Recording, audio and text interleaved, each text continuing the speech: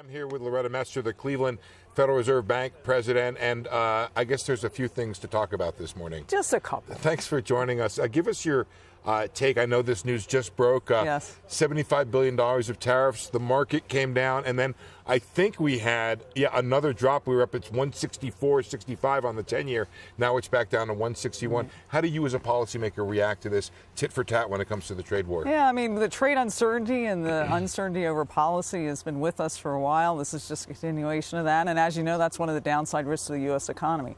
We're less exposed than Europe um, to some of the trade. We're more insulated a little bit, but it's certainly been weighing on business sentiment and on some of the investment numbers that we've been seeing, which, as you know, have been weak. On the other hand, the consumer side continued to be good.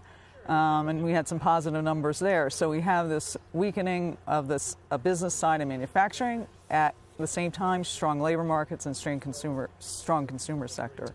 Do the twain have to meet? Can can we coexist with this idea of this weak manufacturing sector, weak global economy, keep going with a strong consumer uh, and, and a reasonably strong U.S. economy? Well, it's possible, but one of the things I want to be I'm attuned to right now is if businesses really, really take a step back on their spending in terms of investment, will that spill over to hiring?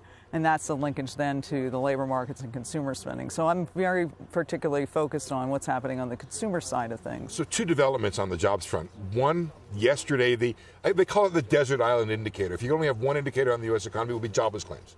I don't know if you feel that way, but that's the way I feel about it.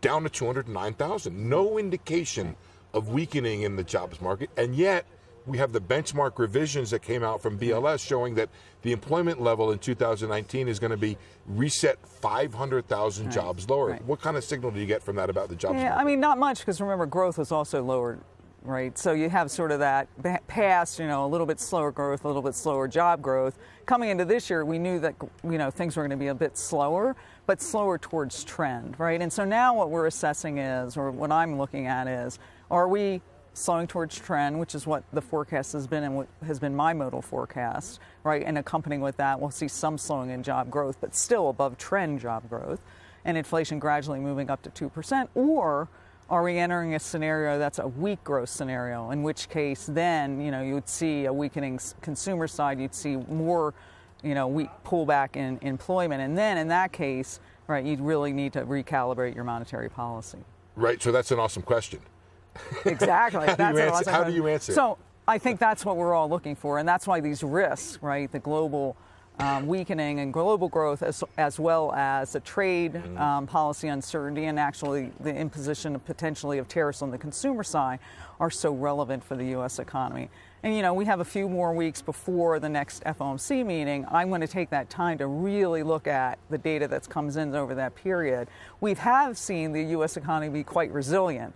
And so that's why I think right. it's it, we're in this uncertain time, and that's why you would see different policymakers having different views going forward. It seems to be a lot of different views, uh, more so than usual, um, both in the reasons to cut rates, inflation, weak U.S. Mm-hmm. economy, um, and in the reasons to keep them the same, concern about excess leverage.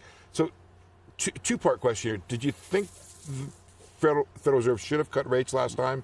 Do you think it ought to what do you think it ought to do next so i saw the arguments on both sides i right. think they were very cogent arguments i supported leaving rates the same you know and looking for more data and letting things play out a little bit, bit longer so that we would have a better view of whether we're in weak growth scenario or in the trend growth scenario um, I'm considering, you know, I haven't made up my mind yet before I go into that FOMC meeting. I think the dialogue around that table is very, very useful. You hear what's going on in other parts of the country from my colleagues around the reserve banks, you hear the Board of Governors, their views, individual views as well. And that discussion really is a good way of making policy. So I'm open minded about it. At this point, I, you know, if the economy continues where it is, I would probably say we should keep, you know, things the way they are. But I am very attuned to the downside risks of this economy, and I want to make sure that we're always focused on our dual mandate goals. So when I go into there, I'm always thinking about what's the data telling me about where we are What's the data telling me about where the economy is going relative to the two goals we have, which is price stability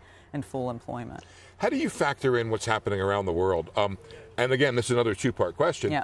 One, and not unrelated, one is the low global interest rates. U.S. is 200 basis points, two percentage points plus higher than Germany. Right. is that right? I mean, yeah. that kind of dis, distance between the two seems unusual. Yeah, so interest rate differentials, as you well know, reflect differences in the outlook for the economies. We have had a stronger outlook here than in other countries in Europe and China, so our interest rates should be higher than there. But you have to take a signal from what's going on with U.S. yields.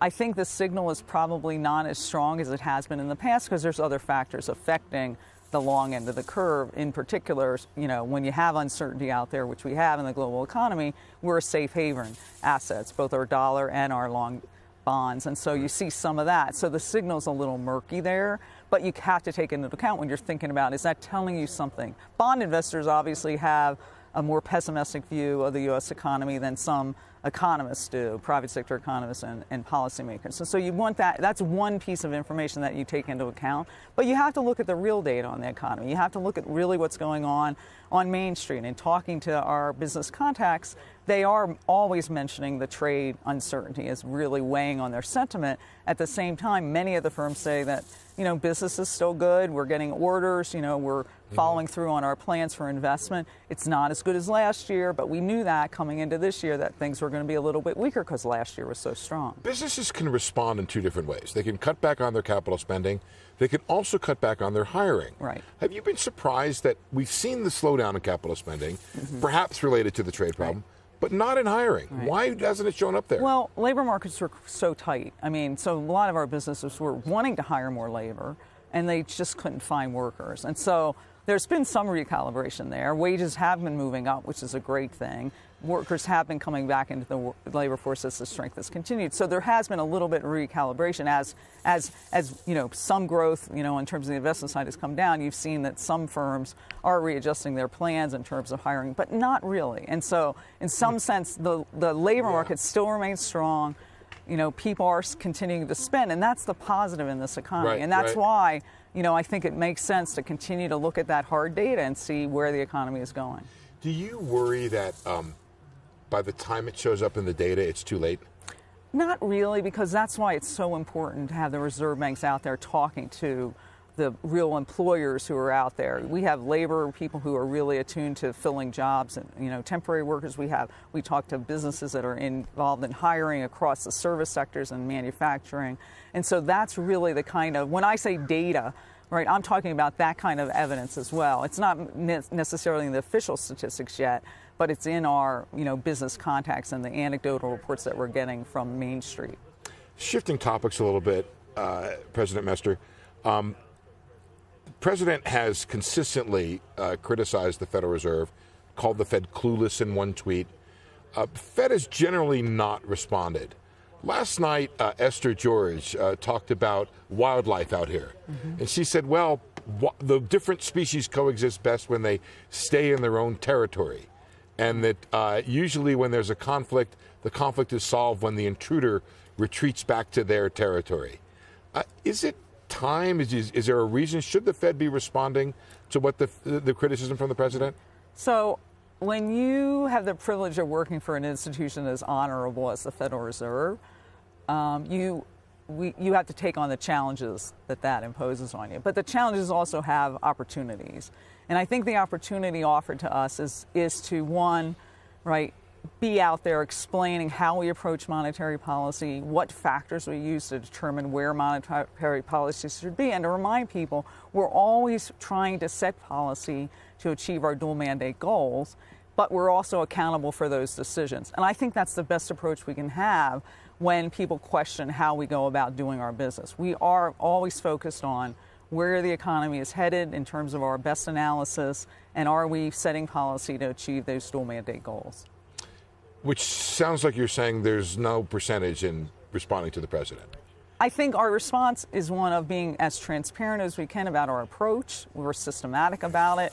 We're always the beacon of those dual mandate goals is really our guiding light, and that's what we're focused on. The president frames monetary policy as something of a an international competition. Uh, he points out that German rates are low and they're fighting to win, uh, in part to to um, uh, keep their currency low and help their exporters and their economy. Is that a framework that you embrace? No, I, I look at the U.S. economy and I look at where our goals are price stability, where we are relative to our goals, price stability and full employment. And of course, you know, our economy is part of the global economy, and what happens abroad affects our economy. We've seen it on the export side. Value of the dollar changes depending on relatives in terms of inflation, growth, right, and interest rates. And so those things that go on abroad do affect the U.S. economy. But when we're setting our monetary policy, we have to be focused on the dual mandate, and that's what we do when we're when we're setting policy. Let's go back to the policy outlook. Um, Federal Reserve uh, Chairman Jay Powell has characterized characterized the last cut as a mid-cycle adjustment. What does that mean to you, and do you embrace that framework? Yeah.